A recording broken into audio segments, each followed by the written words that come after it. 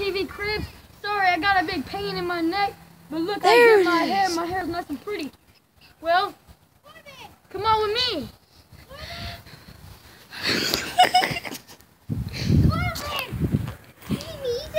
Kelsey, Um, you dead?